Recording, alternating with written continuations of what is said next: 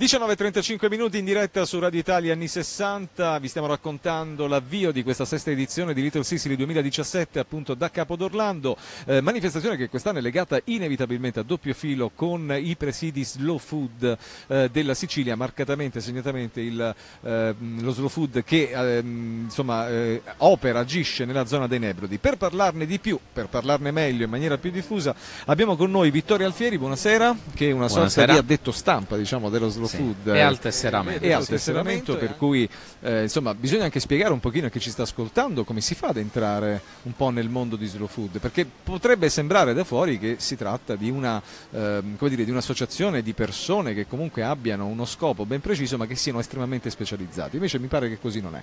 No, Slow Food è aperta a tutti, anzi è rivolta proprio e concepita per il cittadino comune che però vuole coccolarsi, vuole curarsi nel cibo, con il cibo buono di un certo livello.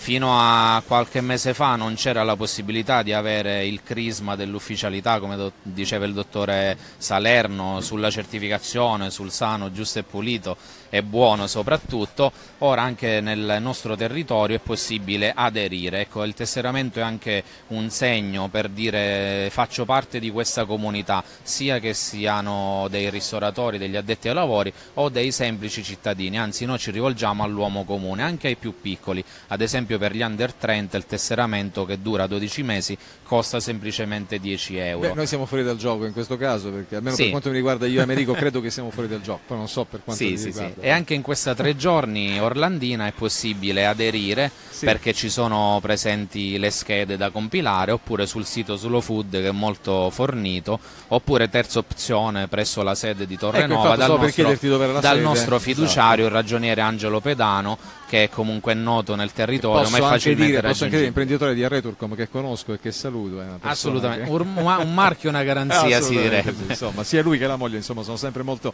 attivi sul territorio. Mi avete invitato Eh, a nozze in questo vostro interessantissimo eh, dialogo. Era, era un dialogo insomma, diciamo, tra, tra impari, però insomma, No, ho no, cercato di capire. Ma l'archeologo che c'è in me Ecco, recla- reclama spazio, no, semplicemente per dire che mi trovo d'accordissimo con tutto quello che è stato detto e per rispondere anche a distanza di qualche minuto alla domanda iniziale Sì, sullo food sì. mangiare lento. Sulla ragione etimologica. Sì, diciamo, eh, diciamo che noi ora non ci stiamo inventando niente, è un ritorno al passato, stiamo riscoprendo quello che giustamente, come già facevi notare tu, i nostri avi facevano anche in questa zona.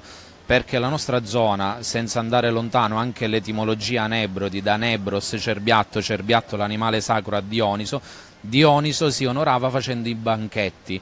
eh, i simposi, oggi gli schiticchi. Ah. Negli schiticchi, lo possiamo dire, non è una parolaccia in radio, anzi, si mangia lento, cioè si aspetta che la carne si cuocia alla Diciamo brace tutto quel ed è rituale lo stare insieme, cosa che- che... non si trova nei fast food. Beh, nei fast food nemmeno ci si conosce. totalmente. nei fast food nemmeno ci si conosce, si mangia veloce, dubito di quello Della che si mangia. anche, quindi qui noi poi, siamo ritornati al passato nel cibo che è una cosa ottima. Va bene, allora signori, è stato davvero un piacere eh, oltremodo. L'ultima Allora, cosa, intanto vi prego. troveranno sicuramente per i prossimi giorni nell'isola pedonale di Capodorlando, nelle vicinanze del municipio, nella seconda postazione, quindi andate con fiducia a eh, conoscere i nostri amici di Slow Food, assaggiate i prodotti nostri, eh, davvero tipici, davvero importanti, davvero di qualità e sostenete insomma la buona gastronomia siciliana. Grazie ancora per essere stati con noi, in bocca al lupo e buon lavoro. Grazie. Grazie mille, ci fermiamo per la pubblicità, torniamo tra poco.